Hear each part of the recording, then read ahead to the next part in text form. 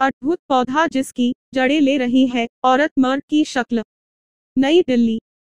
इस पौधे का नाम फ्लीसफ्लावर है।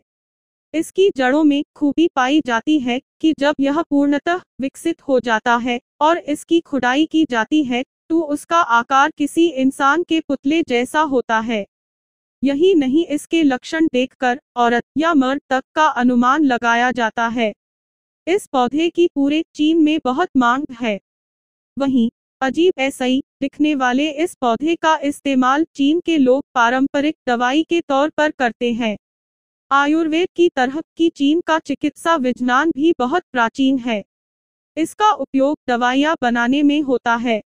इसमें पौधे की जड़ों के औषधीय उपयोग का विस्तृत वर्णन है। इस पौधे की जड़ें मुख्य रूप ऐसी किडनी की बीमारी में रामबाण दवा का काम करती है।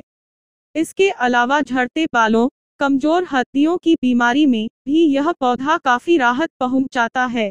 हेलो मेरे प्यारे दोस्तों, अगर आपको हमारे वीडियो पसंद आते हैं तो प्लीज़ हमारे चैनल को सब्सक्राइब करें और लाइक भी करें। धन्यवाद, जय हिंद वांडे मातरम।